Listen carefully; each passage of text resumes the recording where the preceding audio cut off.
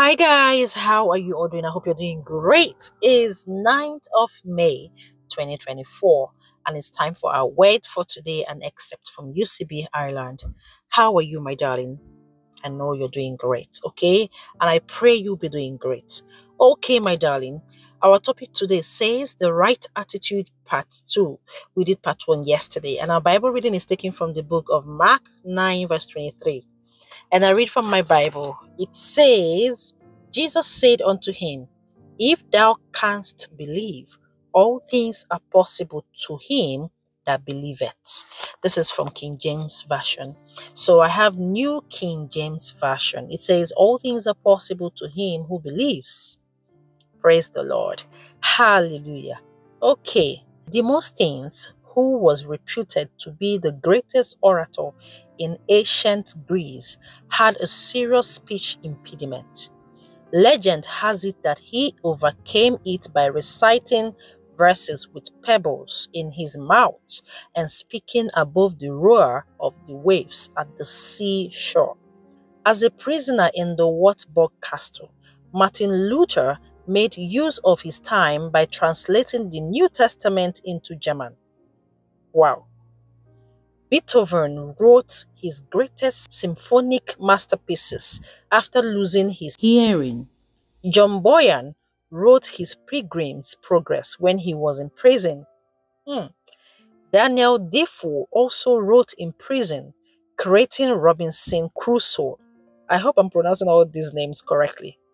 Abraham Lincoln is thought by many to be the best of the United States presidents, but he probably would not have become known as a great leader if he had not led the county through the Civil War. Often, difficult situations seems to be involved in producing great leaders and thinkers. But that is only the case when their attitudes are right. When a problem comes in contact with someone who has the right attitude, the result is often wonderful. Out of great turmoil come great diplomats, business people, scientists, educators, pastors, and others. Every challenge is an opportunity, and every opportunity has a challenge. But it's the attitude with which you approach your problem that largely determines the outcome.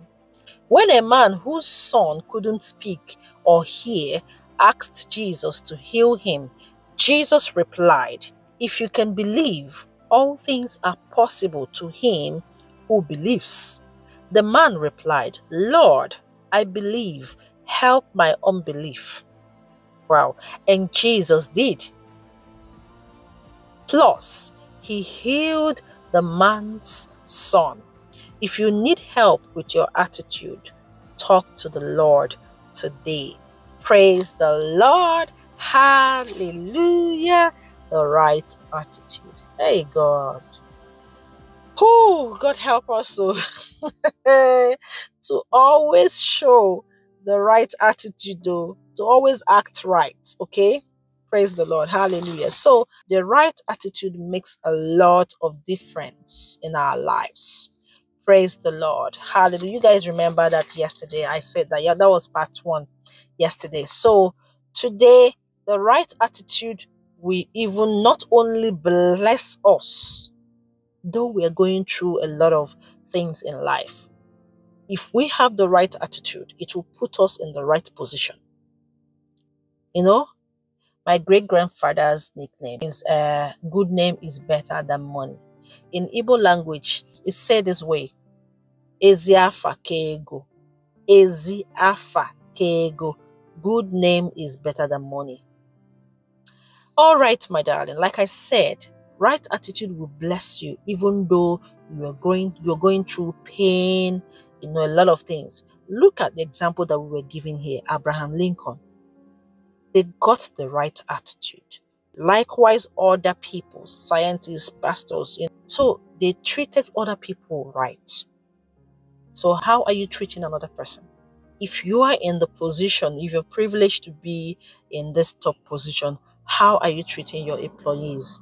How are you treating your parents? How are you treating your your your uncles, your nephews, your nieces, your siblings? How do you treat them? How do you treat your friends? Your attitude determines how people will respond and react to you. Praise the Lord. Hallelujah. So, in order for us to exceed abundantly, we must change our attitude.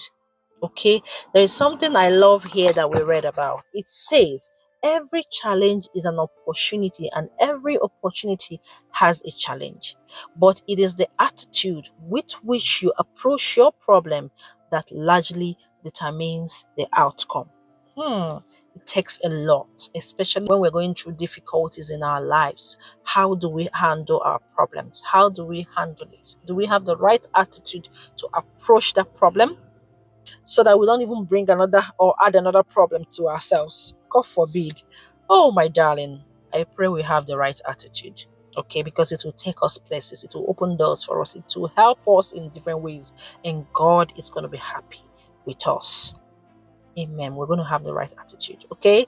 Despite what we're going through. Don't let anybody make you to change your right character. Don't let anybody to make you change your right attitude because of what they think or the way they reason. Your conscience tells you the truth. So let's do what is right. The right attitude matters a lot. Okay, my darling. And that is it for today for us. I want to thank you so much for listening.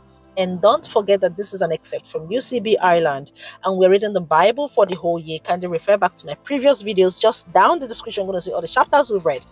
But for today, we are reading 2 Samuel chapter 9, chapter 10, chapter 11, and John chapter 18 from verse 19 to 40.